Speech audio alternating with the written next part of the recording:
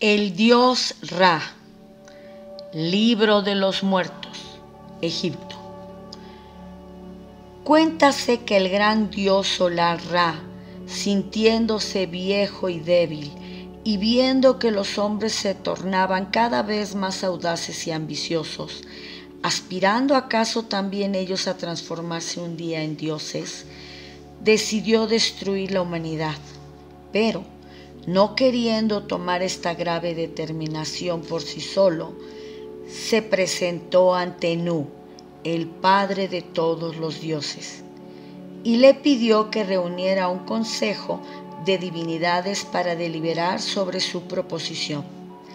La respuesta de los dioses fue afirmativa, y Ra envió entonces a la diosa Ator, secundada de Sekhmet, la diosa con cabeza de leona, para consumar el sacrificio de la humanidad. Sekhmet, siendo el principio destructor de las fuerzas femeninas del cosmos, se dio a la tarea con tal ímpetu que bien pronto la tierra estaba convertida en un lago de sangre. Y como sucede que los emisarios o ejecutores de la voluntad del Dios van muchísimo más lejos de lo que éste ha querido, llega entonces un momento en el que el Dios desea poner atajo a la carnicería y calmar a las potencias destructoras desatadas.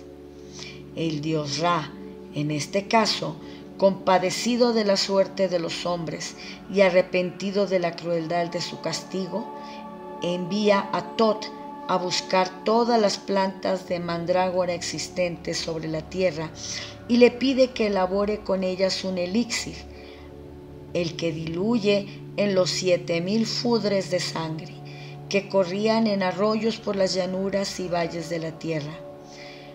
Cuando la sádica y sedienta Segmet viene a beber aquella sangre, absorbe el zumo de la mandrágora y cae en profundo sueño. Con esto, Ra evita la extinción total de la humanidad que él mismo había decretado. Los hombres que sobrevivieron a la catástrofe se congregaron a orar en los santuarios y a expresar a los pies de Ra su arrepentimiento por el pecado de orgullo y de ambición desmedida que habían alimentado. Ra los perdona, se sella una nueva alianza de Dios con los hombres y Ra decide ascender a regiones superiores del cielo, dejando el gobierno de los hombres en otras manos más juveniles que las suyas. Llamando a la vaca celestial y cabalgando en ella, Ra exclamó, Hágase un gran campo, y aparecieron los campos elíseos llenos de árboles, flores y frutas. Ra dijo enseguida, háganse las estrellas del cielo. Al oírlo, Nut se estremeció y de su seno cayeron millares de luminarias encendidas. Luego Ra dijo, Querido Shu, uníos con mi hija Nud y velad ambos por todos los millones y millones de seres que vagan en las tinieblas.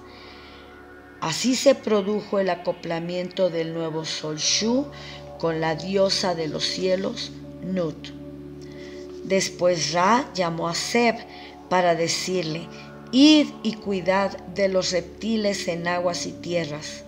Decidles que yo parto a regiones distantes, pero que, sin embargo, mi ojo vela sobre todos los seres.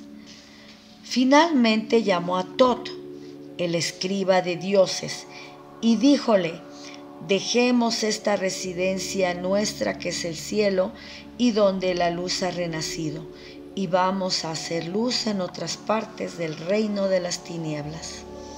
Allí también, igual que aquí, registrarás las buenas y las malas acciones de los hombres y castigarás a los malvados.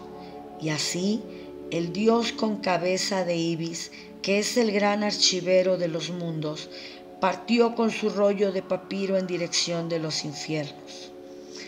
Luego, Ra dijo, únanse en el cielo el ojo del día y el ojo de la noche, y así nacieron el sol y la luna.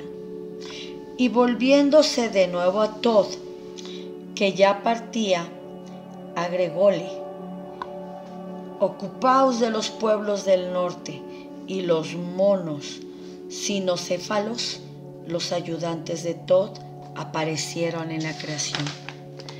Después de hecho todo lo anterior, Ra desapareció en el espacio, renunciando al gobierno del mundo que había intentado destruir y había luego salvado en dos actos sucesivos de su misma divina voluntad.